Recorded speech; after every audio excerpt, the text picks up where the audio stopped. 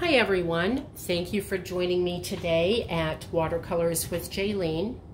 If you have not liked and subscribed to my YouTube channel yet, if you could go ahead and do that now and get that out of the way, I would really appreciate it. So today's project is going to be a sailboat. I figure with the summer months upon us, what better project than a sailboat? So we'll start off by going over the materials list of everything that I'm using today. And we do have the watercolor paper. I also have a small jar of clean water for my brushes. I have my 24 pan Winsor & Newton uh, paint set.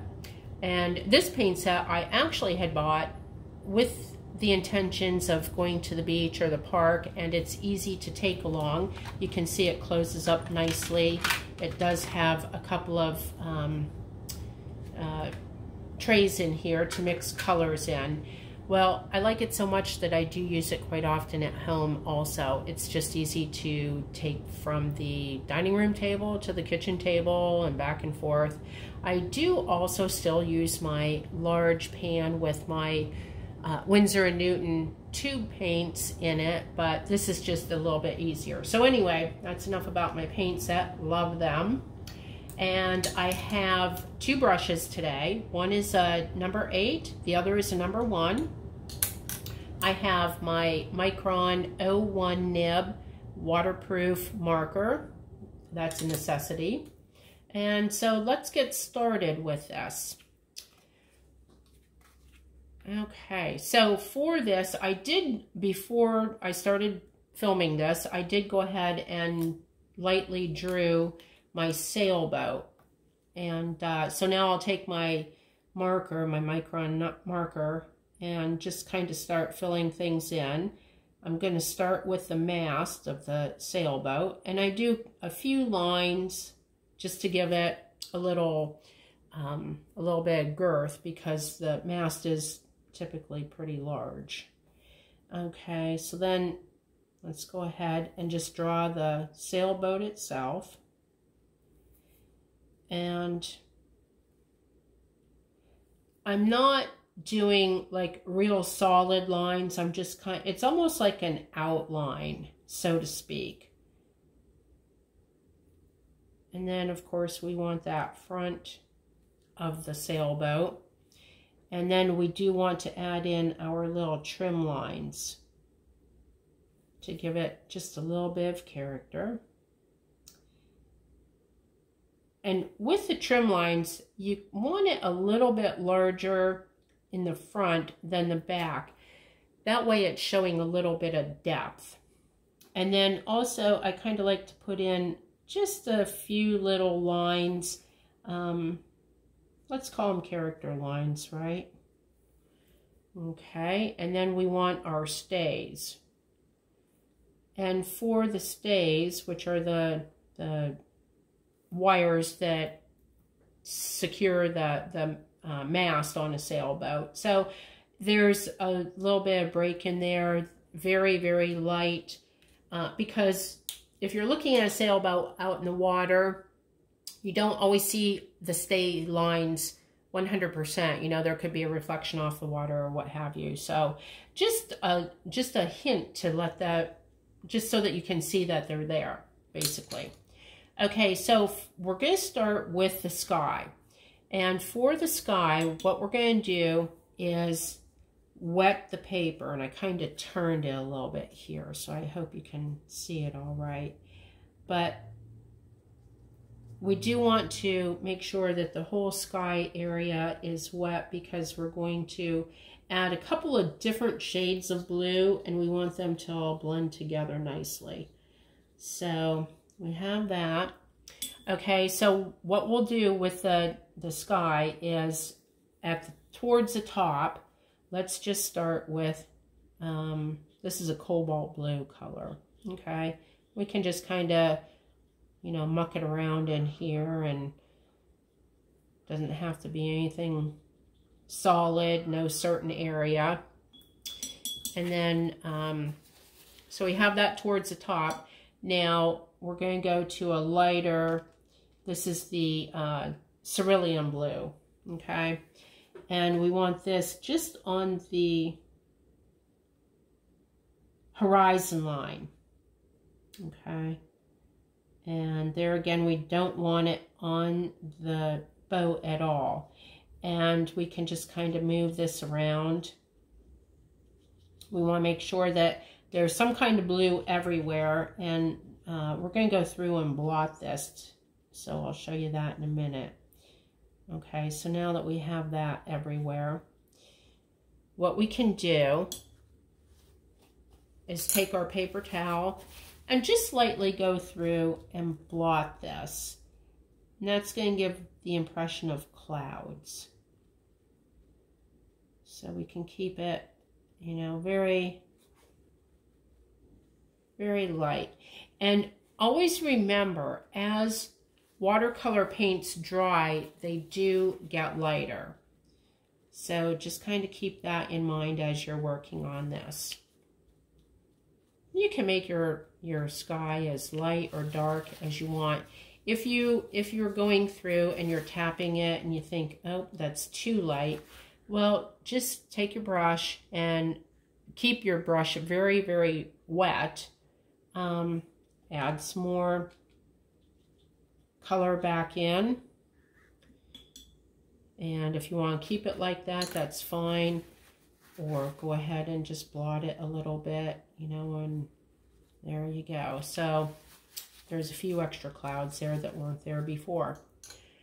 Okay, so while that is drying, um, what we're going to do is with the number one brush, let's take some of the Indian red and we, want, once again, we want the brush very wet and what we're going to do is just kind of paint um, a reflection in the water. Here, let me show you on this one. See how there's a little bit of a reflection in the water? So that's what we're going to paint in now. And we want to start, it's a little, a little too much there. So we're going to start um, on either side. And I'm using the Indian red for this. I don't know if I said that before, but uh, we want to use the Indian red, which is the same color that we're going to use on the trim color of the, of the sailboat. So we want to start a little bit in from the bow of the boat and just kind of, you know, lightly, um, just kind of wash in a little bit of color here. And you don't want it solid for sure. Here we kind of want to loosen this up a little bit. If you feel like you've gotten it too dark, you can always, you know, take some of the, take some water and, and just lift the paint off.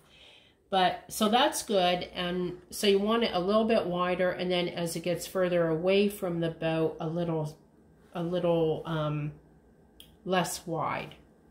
So now that this, well, I'll tell you what, while we're working on the Indian red, let's just do the um, trim colors, okay?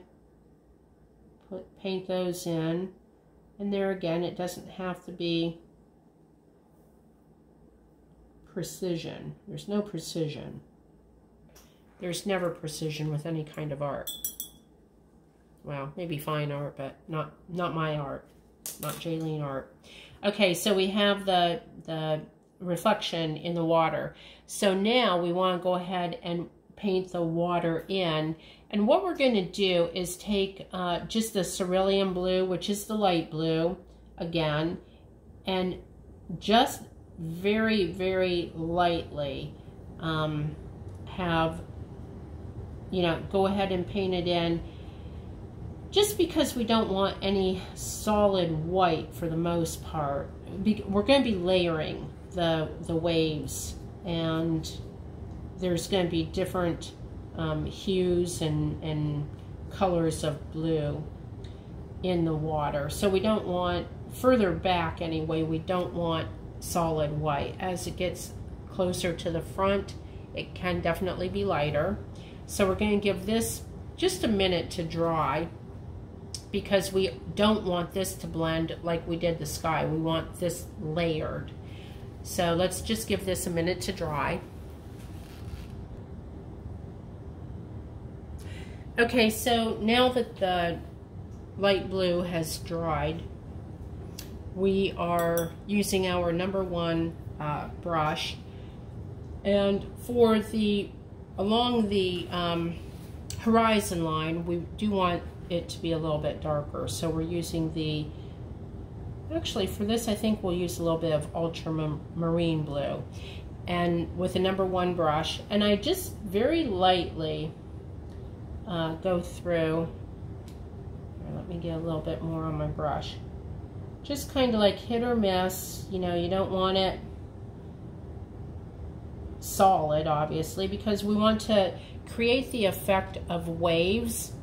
And so we want it, you know, just a little, um, kind of like rough seas, I guess, right? And because this is so far away, we want it darker. And then as it gets closer, it will be lighter.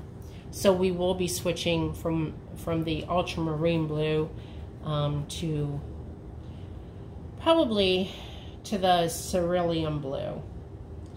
And I do have uh, quite a bit of paint on my brush and I'm I have my brush like tilted or slanted so that so that I'm not the paint isn't going straight on. You can see it's kind of um, kind of kind of a slant. There's a little too much. So you can kind of see how this is taking effect, right? Now here, I'm going to switch to the cerulean blue and just make it a little bit lighter and doing the same thing, just tapping my paintbrush a little bit to, you know, create that effect of the waves, the white caps, and the water, you know, not a little bit of breeze on the water. So I, I have to consider myself pretty fortunate that I do live near the Gulf of Mexico and we get to enjoy you know, watching the waves and the sailboats and speedboats and everything out on the water.